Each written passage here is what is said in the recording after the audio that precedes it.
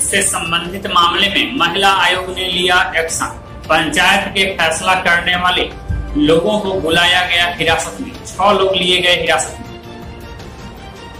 गया ज़िले के मोहनपुर गाँव क्षेत्र के आमकोला पंचायत के मसौधा गाँव में हुए सामूहिक दुष्कर्म मामले में पुलिस ने छह लोगों को हिरासत में लिया है। नाबालिग पीड़िता को ही घटना के लिए दोषी ठहराते हुए बाल कटवाकर पूरे गाँव में घुमाए जाने का यह मामला था। घटना पर बिहार राज्य महिला आयोग ने संज्ञान लिया है। घटना के संबंध में थानाध्यक्ष रवि भूषण का बताना है कि एसएसपी के निर्देश पर मसौदा पंचायत में पंचायती करने वाले छह लोगों को पूछताछ के लिए पुलिस ने हिरासत में लिया है। महिला आयोग की अध्यक्ष दिलमणि मिश्रा ने एसएसपी को पत्र लिखा है। साथ ही दो सितंबर को पंचायत का फैसला देने वाले सभी लोगों को महिला आयोग के समक्ष पेश होने का निर्देश दिया गया है। मुजफ्फरपुर के रेड लाइट एरिया में देर रात पुलिस ने की छापेमारी। डीएसपी के नेतृत्व में की गई छापेमारी में एक दर्जन से अधिक लोग लिए गए हिरासत में। मुजफ्फरपुर ज़िले के मिठनपुरा थाना क्षेत्र के रेड लाइट एरिया में मुजफ्फरपुर पुलिस ने कई थानों की टीम के साथ छापेमारी की। मौके पर कई बाइक और कई आदमी हिरासत में लिए गए हैं। साथ में गाड़ी और भारी मात्रा में शराब की बरामदगी भी हुई है। दरअसल ज़िले के एसएसपी मनोज कुमार के निर्देश पर नगर डीएसपी राम नरेश पासवान के नेतृत्व में टीम गठित कर गुप्त सूचना के आधार पर सोमवार की देर रात यह कार्रवाई की गई। नगर थाना और मिठनपुरा थाना सहित कई थानों की पुलिस मौके पर मौजूद थी।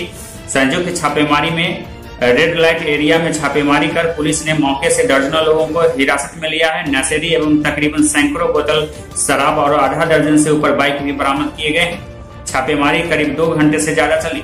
रेड लाइट एरिया के साथ साथ सोमवार की देर शाम आसपास के इलाके में भी छापेमारी की गई। छापेमारी करने गए नगर डीएसपी रामनरेश पासवान ने बताया कि वरीय पुलिस अधीक्षक को गुप्त सूचना मिली थी, जिसके बाद यह कार्रवाई की गई है। उन्हीं के निर्देश पर यह कार्रवाई की गई है। उसी के आधार पर छापेमारी की गई, जिसमें बताया गया है कि भारी मात्रा में कई दर्जन बाइक बरामद किए गए साथ ही कई लोगों को हिरासत में भी लिया गया जिनसे लगातार पुलिस पूछताछ कर रही है। पटना के कर बिगहिया में मिली प्राचीन अष्ट धातु की मूर्ति। जक्कनपुर पुलिस को मिली सफलता। सात माह पहले चुराई गई थी यह मूर्ति। जक्कनपुर पुलिस ने कर बिगहिया में चेकिंग के दौरान मूर्ति तस्कर प्रेम कुमार को पकड़ लिया। उसका एक अन्य साथी सोनू कुमार भागने में सफल रहा। प्रेम के पास से पुलिस ने लाखों रुपए की प्राचीन अष्ट धातु की ठाकुर जी की मूर्ति बरामद की। यह मूर्ति इस्लामपुर या एंकर सराय के किसी ठाकुरबाड़ी से छह सात माह पहले चुराई गई। पुलिस छापेमारी में जुटी है और संग्रहालय के एक्सपर्ट से मूर्ति की जाँच कराई जा रही है। पकड़ा गया प्रेम कुमार मूल रूप से अस्थवा का हुसैनाबाद का रहने वाला है। सोनू कुमार पटना के बाज़ार समिति में किराए पर मकान लेकर रहता है। पुलिस को सोनू के संबंध में पूरी जानकारी मिल चुकी है और पकड़ने के लिए छापेमारी की जा रही है। बिहार एवं झारखंड के अभरक खजाने वाले जिलों में 6 से 14 साल के करीब 5000 बच्चे स्कूली शिक्षा से दूर हैं। कुछ बच्चों ने बाल मजदूरी शुरू कर दी है। दोनों राज्यों में करीब बाईस हज़ार बच्चे खाद्यान्नों में मजदूरी कर रहे हैं। यह खुलासा एक सरकारी रिपोर्ट से हुआ है। राष्ट्रीय बाल अधिकार संरक्षण आयोग ने यह सर्वे देश में काम कर रही अंतर्राष्ट्रीय एजेंसी टेरे डेज़ होम्स के साथ किया है। सर्वे कोडरमा गिरिडीह और नवादा ज़िले में बच्चों की शिक्षा एवं स्वास्थ्य पर किया गया। नवादा में 6 से 14 साल के 6 से उनचास बच्चे स्कूल नहीं जाते। वजह महत्वाकांक्षी की कमी और रुचि तथा अभरक एकत्र करना है। यह भी पाया गया है कि कोडरमा की 45 एवं नवादा की 15 बस्तियों में ऐसे बच्चे अभरक एकत्र एकत्र करते हैं। अधिकारियों ने कहा कि कई परिवारों को लगता है कि बच्चों को स्कूल भेजने का फ़ायदा नहीं है। आपको बता दें कि भारत अभरक के सबसे बड़े उत्पादकों में से एक है और बिहार और झारखंड देश के प्रमुख अभरक उत्पादक राज्यों में प्रमुख है। कटिहार में टला बड़ा हादसा। कपलिंग टूटने से 60 मीटर तक आगे निकल गया राजधानी एक्सप्रेस का इंजन। बिहार के रेलवे स्टेशन पर सोमवार को उस वक्त अफरा तफरी का माहौल उत्पन्न हो गया जब दिल्ली से डिब्रूगढ़ जाने वाली राजधानी एक्सप्रेस जैसे ही वहाँ से खुली। उसकी कपलिंग टूट गई। ट्रेन का इंजन आगे निकल गया और सभी डिब्बे स्टेशन पर रह गए। मौके पर मौजूद लोगों का बताना है कि अगर बीच रास्ते में कपलिंग टूटती तो बड़ा हादसा हो सकता था। बहरहाल, मामले की जाँच के लिए तीन सदस्यीय कमेटी गठित की गई है। जानकारी के अनुसार दिल्ली से डिब्रूगढ़ जाने वाली 124-24 राजधानी एक्सप्रेस निर्धारित समय नौ बजकर चौवन बजे कटिहार के प्लेटफॉर्म नंबर एक पर पहुँची। जब यह ट्रेन यहाँ से खुली तो इंजन करीब 60 मीटर आगे निकल गया। लेकिन सभी डिब्बे स्टेशन पर थोड़ी दूर खिसकने के बाद प्लेटफॉर्म पर ही रह गए। ड्राइवर को जब प्रेशर में कमी महसूस हुई और पीछे मुड़कर देखा तो डिब्बे प्लेटफॉर्म पर ही रुकी दिखाई।